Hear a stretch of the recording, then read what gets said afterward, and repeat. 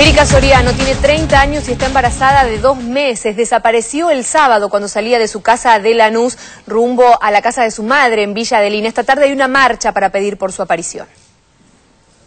La última información sobre Erika Soriano la dio su pareja, Daniel, cuando la familia de ella lo llamó el mismo día de su desaparición. Y le dije, ¿qué, qué pasó que no vinieron?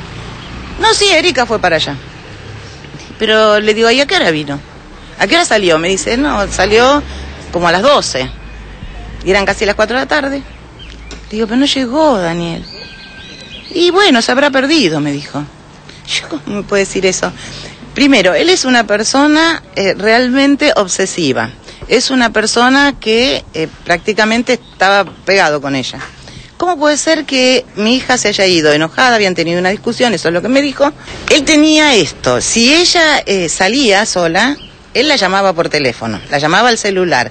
O si iba a determinado lugar, llamaba a ese lugar para saber si fue, si estaba, si, si salió, si cuánto tiempo. O sea, hacía todas esas averiguaciones. Ahora, salió enojada de su casa. Eh, no se sentía muy bien porque está recién embarazada, que es normal. Este, y no, no llamó para preguntar si había llegado, no llamó eh, eh, para, no se preocupó.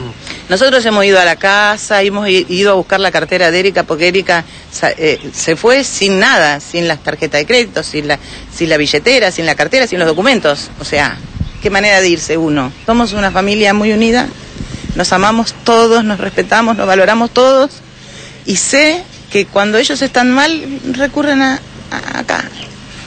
O sea, si mi hija se discutió, si no se sentía bien, hubiera venido acá.